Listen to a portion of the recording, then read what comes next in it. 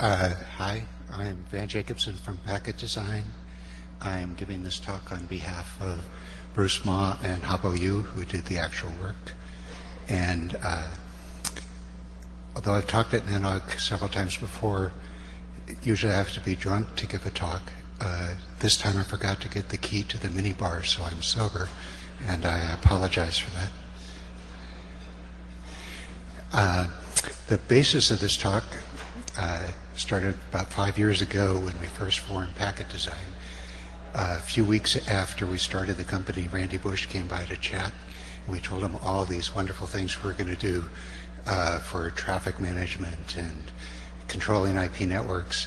And he basically said that we were stupid, that he didn't have any trouble controlling the traffic in an IP network once he knew where it was, he could make it go exactly where he wanted it to go, but he didn't know where it was. He couldn't see where the bits were in his network, and it was really hard to control something that you couldn't see. And he suggested that if we actually wanted to do something useful, we should go out and make a system that would let you see the bits inside a network, and people would be able to control it. Uh, so it's now five years later. We're it's getting to the point where you can actually do that. Uh, one reason it took so long is that we're slow. Another reason is the technology wasn't really there. Up until just uh, roughly the last year, turning on NetFlow in your router was the equivalent of turning off your router. It would slow down to a crawl. And so you weren't likely to get a lot of traffic data. Even if you were getting the NetFlow data out of the router, there was nothing that could sink it. You're getting gigabytes of data, you know, terabytes from an ISP, and you didn't have enough disk space or enough processor power to crunch it. That's all changed, right? Disks are uh, pennies a gigabyte. The processors running three gigahertz. You can easily crunch the data. And at least today, ISPs are starting to routinely get flow data. Um, the, kind of the current state of the art, what you do with that data is you turn it into a traffic matrix. And while there used to be, say, whole teams at UUNet that would take the data from the previous month and turn it into a traffic matrix so they could do traffic planning. Now you don't do anything. You hook up a box. Um, it sniffs your BGP. It grabs the NetFlow data, and based on what it finds in the BGP, it knows how to build a traffic matrix out of that NetFlow data. And things are kind of mature enough so that you don't need to roll your own on this anymore. You can actually buy boxes that do this off the shelf. Uh, so Here's a traffic matrix. It was generated automatically by a set of data from CENIC, which is the California Educational Network. It handles all of the UC campuses, uh, all of the California State University system, and all of the K through 12 system. It's actually three overlaid networks with about 10 million users, and they're kind enough to give us a large set of data and to beta test a lot of buggy code for us. Um, anyway, you see down the side some of their customers. That was the top four, which account for about 40% of the traffic, uh, 40% of the transit traffic. Going across the top, you see their four transits, and in all the boxes is a breakdown of the traffic from that customer to that particular transit peer. Uh, this is computed off of 24 hours of their uh, NetFlow and BGP data. Um, it's a great tool, gives you a picture of things that are important to your operations, but it's primarily an engineering tool. Um, it can tell you where your traffic comes in at the customer level, where it goes out at the transit level. But if you've got some link in the center of the, your network that's filled to overflowing, you don't know why it's overflowing. And a traffic matrix won't tell you. All it tells you is what's coming in at a particular customer, what's going out at a particular transit. Its view of the world is just that perimeter. Um, and for a lot of operational questions, you need a different view. And similarly for business questions, if some VP comes down and says, why are we spending umpteen megabucks a month on that transit? Can you prove to me that they're the best? Uh, if somebody comes in with a lower price, can you tell me why I can't move to the person that's got a lower price. Well, that's not a question you can answer from a traffic matrix either. It doesn't have a view beyond your borders. It only tells you a little bit about the perimeter. One reason that you start with a traffic matrix, which again is a wonderful thing. I'm not saying you don't need a traffic matrix. It's just you need a lot more stuff in addition. Um, but a traffic matrix is, in a sense, the simplest analysis that you can do of the traffic data. It's only n squared, where the n is just your perimeter. It's the number of customers plus the number of transits. And that's a relatively small number for an ISP. If you want to do why is this damn link so full, you need to do at least an order n cubed analysis. What you need is for every pair of routers in your network, for the traffic between that pair at every other router, you need to know how much the traffic between that pair goes through that other router. So that's a router cross router cross router, an order n cubed analysis. That's, you know, typical network, a couple hundred routers, that's a big number. You're, you're up in the millions now. And if you want to answer the business questions about, well, what am I really using that transit for? That's a path analysis. All path analyses are combinatorial because the data can go lots of different ways. Combinatorial means factorial. Um, and the n in a path analysis is the number of ASs in the internet. So you're talking of numbers that are like 10,000 factorial. And now we're talking about numbers that are like bigger than the universe. So it's not the kind of analysis you're likely to do. Um, and because of that, conventional wisdom says, hey, traffic matrix is the best you're going to get because all of these other analyses are just way, way too hard. Uh, but that's wrong. The, the scaling numbers are derived from all of the places where the data could go.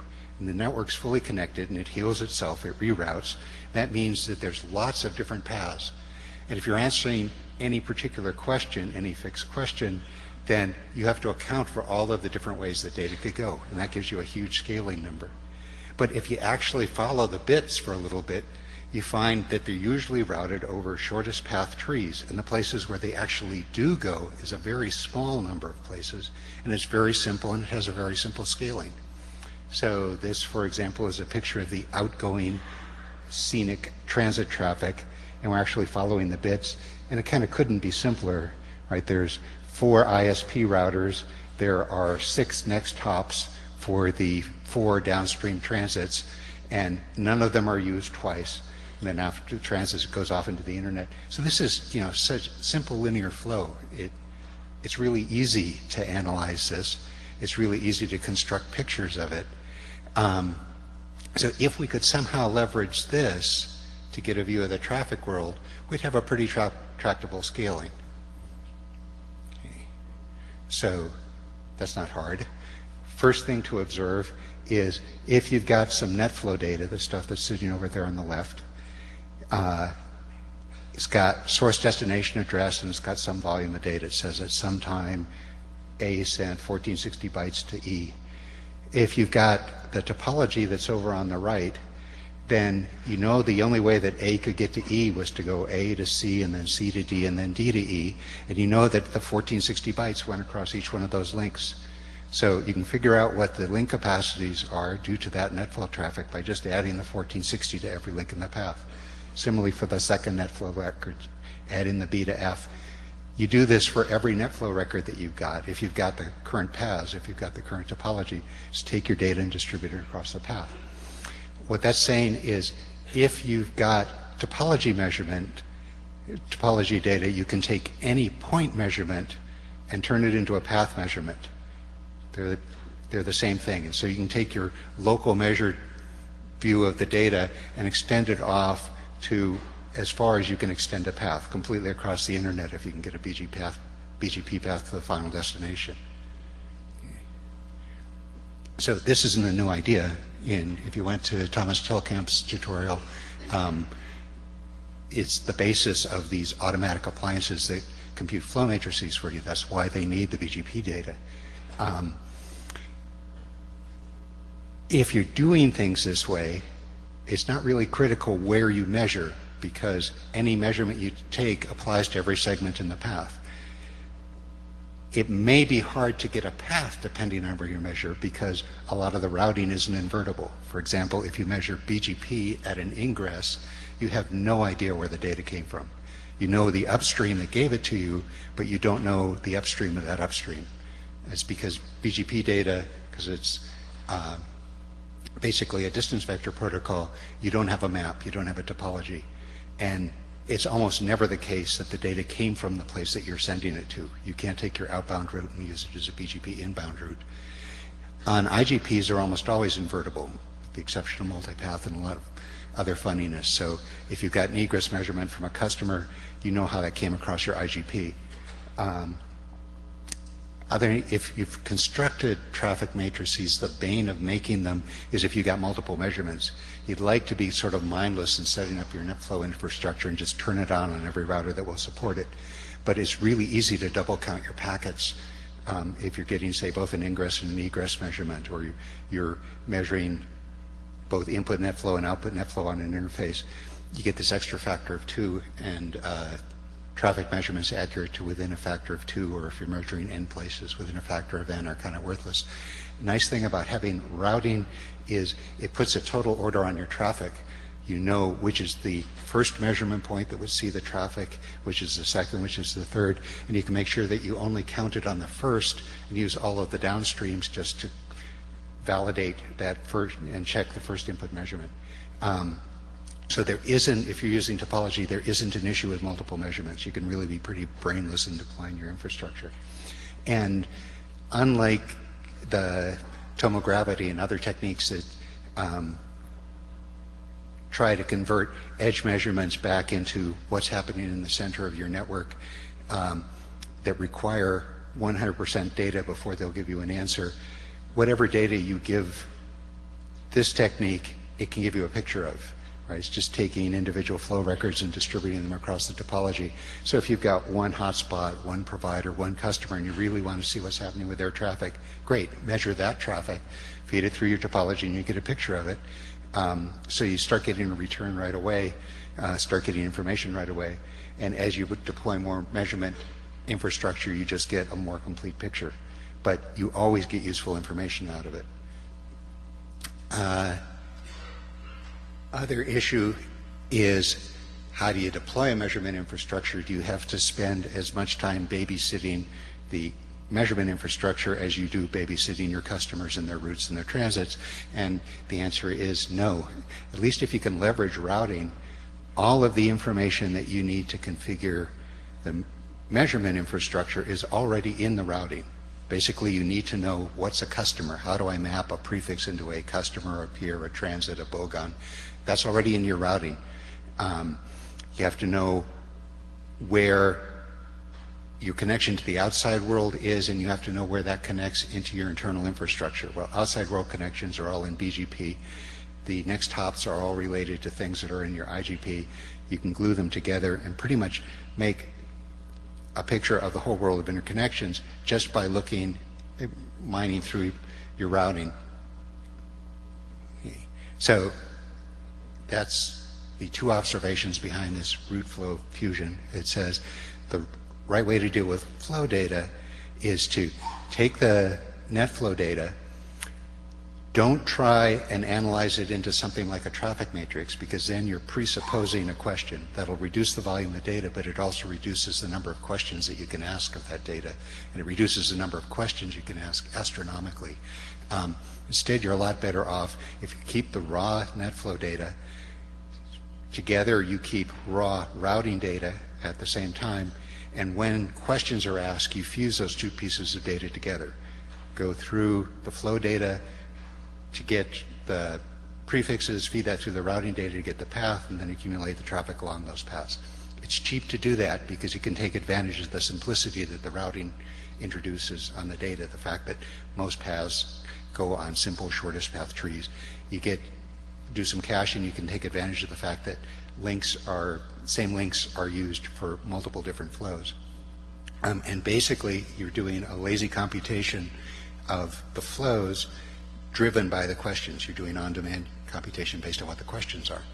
Um, and you get this nice aggregate data rate and traffic volume across your infrastructure. Um, so here's a picture of doing that. This is exactly the same data as that CENIC traffic matrix. It's basically another picture of that traffic matrix, but it's showing you a little bit more. Um, the way you draw this picture is you uh, spread all of the flow data, it's 24 hours of flow data, it's, know, about uh, 50 gigabytes, I think, um, spread it across the topology. That gives you loadings on a lot of paths. You go through all those paths uh, with a threshold, and any path that's carrying less than the threshold amount, in this case it was any path that's carrying 1% of the traffic, you throw it away. And so look at this as your data is this big bushy tree with lots of leaves and blossoms and all sorts of growth on it, and you can't really see the structure of the tree. So what you do is from the outside, you start trimming it back in until you can see the main branches and the trunk, because that's all you really care about to get a large scale sense of what's going on in the network. Uh, all the data goes uh, in all the pictures I'm going to show, the data flows left to right. So customers are on the left in this picture, internet's on the right, the transits are about in the middle.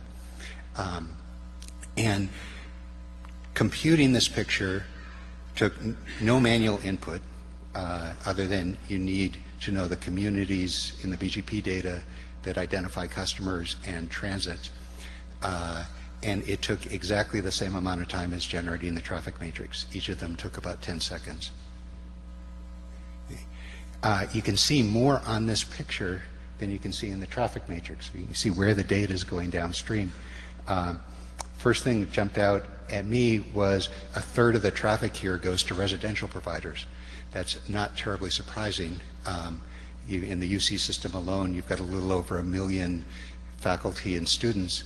Um, and if they're not on campus, they're home working back at a campus machine and their home machine is hooked up to some residential provider. So you see the SBC DSL connections and the Comcast and the Roadrunner cable modem connections to haul them back to school. Uh, you can also see some other things. You can see that the Qwest transit is basically used to get to SBC via Sprint. Um, you can see that the Wiltel transit got pruned off because it's carrying less than 1% of the traffic. You can see that Cogent basically takes you to Canada. Uh, so that's a picture where you're just looking at traffic volumes. You add up the total number of bytes that are going down each path. Um, but you're not restricted to just looking at traffic volumes. To look at traffic volumes, you distribute a uh, scalar, the number of bytes, across the path. If you want to look at traffic rates, you distribute a vector across a path, where the vector is the traffic rate versus time that you get out of the net flow record. Um, so this is a picture of doing that. Uh, this is looking at 20 minutes of net flow data the thing that we originally noticed was uh, going into UCLA, the traffic took a nosedive. Uh, it went down to about 20% of its nominal value, and then it came back, and then it took another nosedive a little bit later. Um, if you look down at the bottom, that little uh, sort of strip chart, that's the actual vectors that's being distributed. So that's the bit kilobits per second versus time. Um, full scale on that's I think about 30 megabits, uh, and the full range of time is 20 minutes. Um, and you can see the two traffic dives. Uh, unlike a traffic matrix or a list, uh, the sort of stuff that you get out of RRD, the interface stats, which you can fit into a pretty simple 2D picture, there's way, way more data here, right? You've got all of the data for all of time going to all of space, right? You, you can see everything that's going internally, the data that you're working on has got all of the traffic between all of the endpoints. If you're distributing rate vectors, then you've got that picture at a, any time. There's no way that you can draw a simple visualization of that. There's, it's just too much information to put out. And uh, so the, the real research and deployment issues are not so much getting the data, it's trying to get it into a useful form. What can you do so that you can, an, an operator, somebody who wants to ask questions of this can ask the questions and get useful stuff out. Um, this is one sort of fumbling attempt at doing it, turn the data into an SVG animation. Um, so you draw this graph, you can click on any linker node and what you see is the data versus time on that linker node will show up in the graph at the bottom. So that's a way of getting from a particular point in space to the behavior, the time behavior of that point. Um, if you click any point on the time graph, you get a picture of what the traffic looked like in the global topology at that time. So right now, uh, I clicked at the lowest point of that curve, and what I'm seeing is what the traffic was doing over everything that I'm looking at at the time, where blue is links that are losing traffic, green is links that are gaining traffic, and black is links that aren't changing. So you can see at the time that UCLA was missing this traffic, everything was missing this traffic. Um, each of those, uh, the second level in circles, each of those is a separate NetFlow monitor. Right? We're monitoring all of the ISP links in CENIC, and we're seeing the same behavior on all the monitors and on all the peers.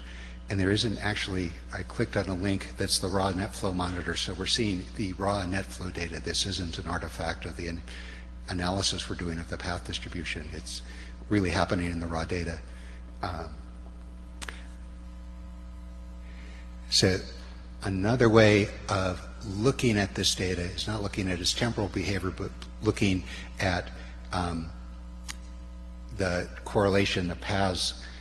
Uh, an example of that is looking at a prefix anomaly. So start by uh, clicking on the UC Berkeley data in that first picture. So a way that you explore the topology is double click on some node and you get a picture of just that node. So we can see that uh, UC Berkeley is traffic is this is inbound traffic. It's nicely split between Cogent and level three, uh, roughly half and half. We're um, bringing all the traffic in from Northern California POPs. Berkeley's in Northern California, so we're not backhauling stuff across the state. It's um, uh, some fairly good engineering's been done there, MEDs or something else. Uh, but if you click on one of Berkeley's prefixes, it's got two main prefixes. You click on the 128.32 prefix to see just the traffic for it. So all of the other stuff gets grayed out, turns into a shadow, um, and just the inbound traffic for 128.32 ends up in black. Uh, and lo and behold, all of the 128.32 traffic is coming from level 3. Uh, in 24 hours, there was no 128.32 traffic coming from Cogent. Either there was no announcement going out that way, or it went out that way and got ignored. Um, so there was some interesting asymmetry, and you can, you know, make yourself crazy going around clicking on different nodes and seeing how data goes through your network and goes through the internet. Uh, because you're doing this lazy evaluation model, you're not structuring the data for to answer any particular question. Um, pretty much when a question comes up, you can go in and answer it. So one interesting one recently was, do I have any customer traffic that goes from Cogent to level three or from level three to Cogent? Because if I do, it's not going to work. Um, and so it's easy to query the data to say, uh, show me all the traffic where the AS path includes 174 and 3356. And this is a picture of that traffic.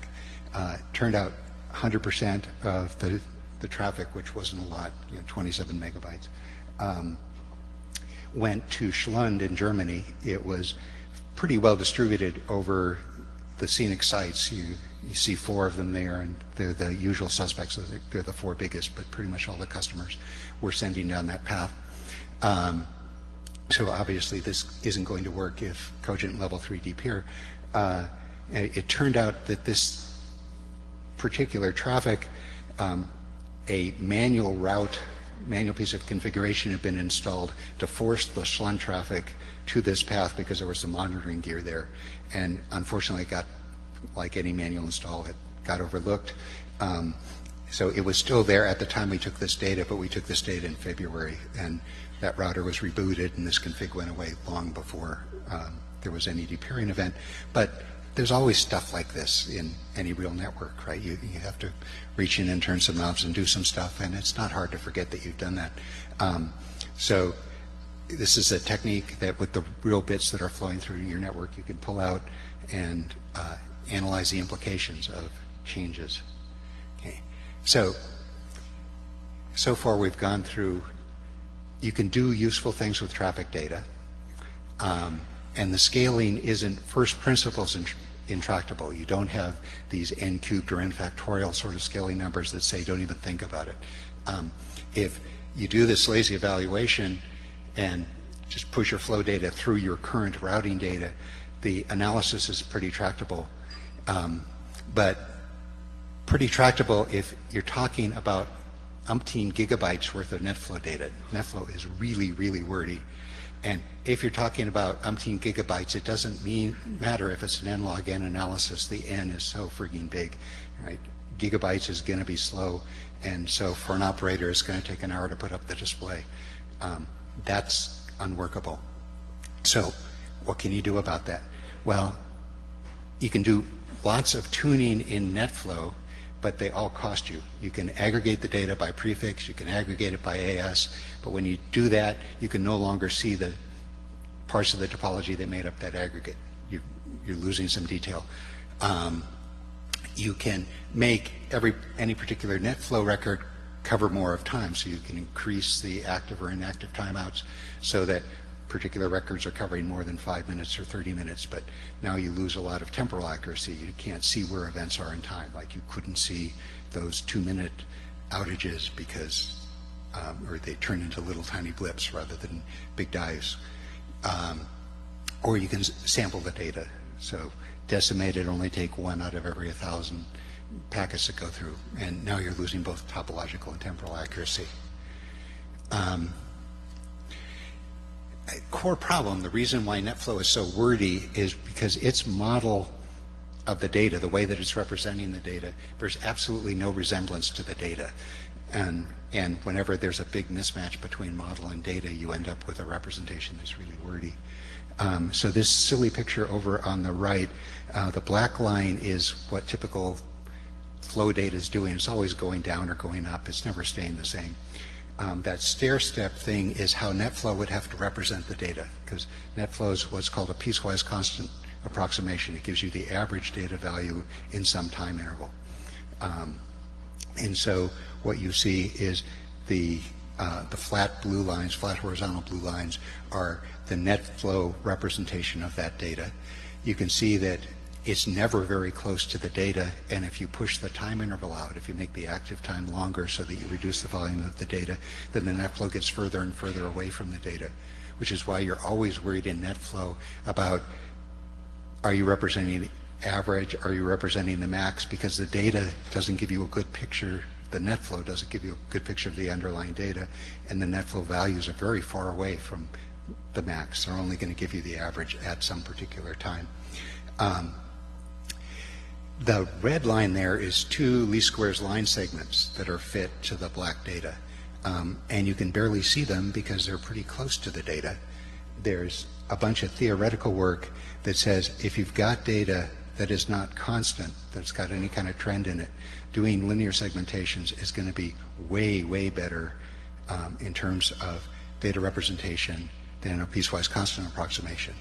Now, that's not intuitively obvious right? Because it takes more parameters to describe a line than it does to describe a constant. NetFlow data's got a time and a level, an average. That's two parameters per observation. A line's got at least three. It's got a time, a level, and a slope. So it's going to be 30% more data per line segment.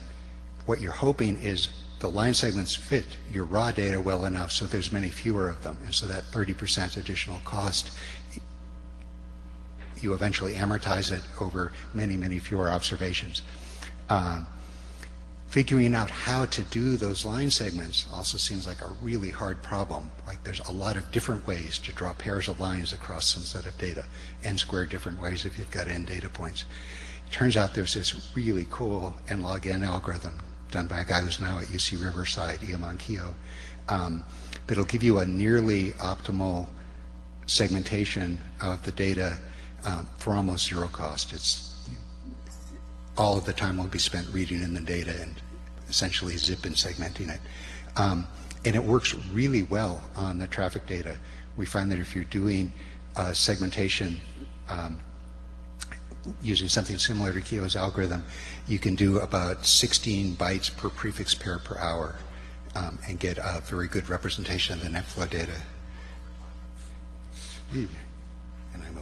Uh, so here's a picture of that. Um, this is 10 hours of NetFlow data. It was 500 megabytes. It, it had been prefix aggregated and sampled up the wazoo. Um, the blue line drawn through there is the linear least square segmentation, Keogh's algorithm. It takes 64 bytes, so that's a factor of 10 million compression. Um, you see it fits the data pretty well in the places where it doesn't fit those little ripples in the data.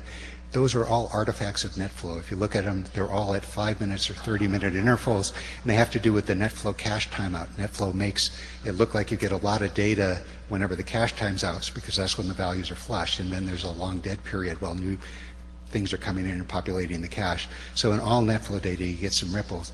This gets rid of all of that junk, shows you the real data, um, and at fairly fabulous compression other issue. So you can get the data volume down, but you still got zillions of prefixes, um, seeing like half a million an hour. This is almost entirely one of Microsoft's gifts to the internet. All of those prefixes are various viruses that are probing for new Windows machines to infect.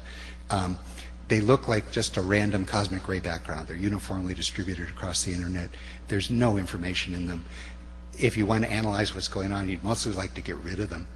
There are general statistical techniques to do that. Nick Duffield at uh, AT&T Research has done a wonderful algorithm called uh, priority sampling that lets you trim off the tail of a large data set and still get something that you can analyze uh, where you can analyze aggregates and components of it. Um, but since we've got topological data, you can actually do a lot better than that by using the topological data to aggregate uh, and the model for that is a lot like the inverse of drawing those graphs. You start out at the edge. You say, I've got all of these addresses, which is you know some host in China or Romania that's busy probing me trying to infect my window machines. Um, it's a very low bit rate because uh, you know some residential host is rate limited.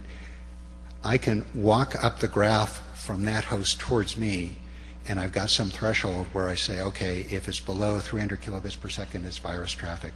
Um, it's just this background, uh, Microsoft virus background is the label on this guy. Um, you walk up the graph you hit a node where the aggregate traffic is more than 300 kilobits. And at that point, you aggregate the whole tree, you know, all of these blue guys into one node, and you say, okay, this is the virus background that's coming in at this node. Um, and these trees tend to be pretty large. It's not just the eight nodes that are shown here, but the place where you get above threshold, you've usually aggregated a few hundred nodes. And you're doing this all over your topology. So you're keeping the places in the global internet topology where the virus traffic gets big, you can still find that, hey, China is sending me most of my virus traffic, um, but you can't figure out which particular prefix in China is doing it. Um, end result of that, if you go to a linear least square segmentation, you do these more efficient line segments, um, then and you're aggregating all these junk prefixes so that you don't have half a million of them. You're doing segmentation on larger aggregates. You get some really nice data volumes. You turn those gigabytes worth of net flow down into kilobytes. It's about 200 kilobytes per hour per gigabit per second of net flow bandwidth that you're looking at. Um, and that means that you can fit, if you're monitoring a gig ether, you can fit an entire year's worth of data on one disk. Um, let's just map it. So, conclusions. Uh, so, it works. Right? You, if you do this lazy demand-driven computation, uh, you can get a detailed view of all of your behavior, stuff you need for operations, stuff you need for business. Um, you don't need to babysit this thing. You hook it up and it dumps pictures out at you. Um, you can get a usable amount of data for things like business purposes or forensic analysis. You can get a year's worth of data for a medium-sized ISP on a disk. Um, and you can do it today. The, all the technology is pretty much available. Uh, we're really grateful for to Randy Bush for initially pointing us in this direction, and we're deeply indebted to Daryl Newcomb of CENIC, who's been beta testing this and giving us data and finding our bugs and all that stuff. All done. Questions, if there's time.